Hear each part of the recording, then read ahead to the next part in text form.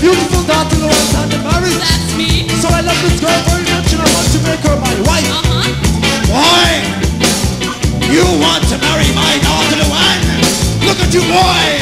White man on the moon, just keep pants always rolled up. Braces always hanging. Have you got a girl?